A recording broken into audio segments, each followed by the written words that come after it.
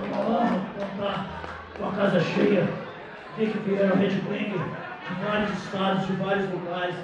É por isso que funciona, é por isso que a gente continua lutando e fazendo. Pois existem pessoas para nos prestigiar. Eu queria agradecer o Silvio, o Alfred, o pessoal que ajudou, que deu uma força, e se não fosse por eles, o evento não estaria acontecendo.